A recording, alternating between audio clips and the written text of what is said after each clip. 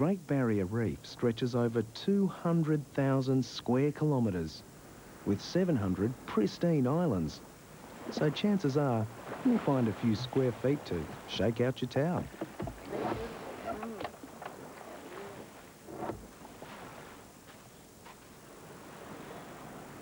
place is getting popular. Yeah, out of control.